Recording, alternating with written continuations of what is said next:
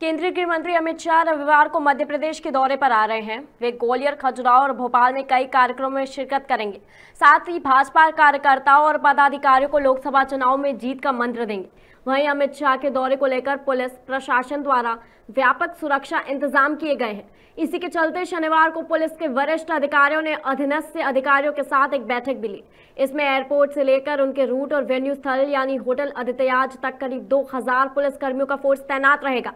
हर एक स्थान पर राजपत्र, पुलिस अधिकारी प्रभारी रहेंगे। बाहर से लगभग 990 पुलिस अधिकारी, कर्मचारी और आरएएफ का फोर्स ग्वालियर आ चुका है।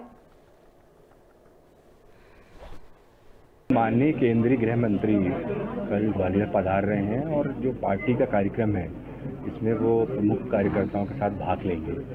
उसको दृष्टिगत रखते हुए जो आगमन स्थल है, एयरपोर्ट हमारा, इसके पश्चात जो एयरपोर्ट से उनका मूवमेंट होगा रूट के थ्रू जो होटल आदित्य पहुँचेंगे।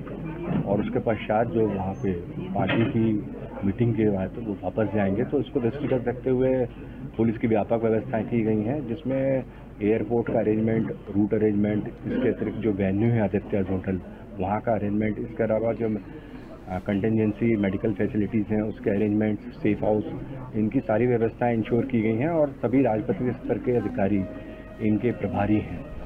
और इसमें हमारा जो है प्रमुख दायित्व ये भी है कि जो एंटी सेबोटेज चेक टीम्स हमारी, इसके अतिरिक्त, ऐसी और चेकिंग टीमें हैं जिनको क्लोज विजिनिटी में हाई राइज बिल्डिंगों पे मतलब तैनात रहकर लगातार विजिलेंस रखना है, उनको सभी को एक्टिवेट किया गया है और लगभग इसमें 2000 अधिकारी कर्मचारी पूरी संपूर्ण व्यवस्था में अमना स्तर पर लगाए गए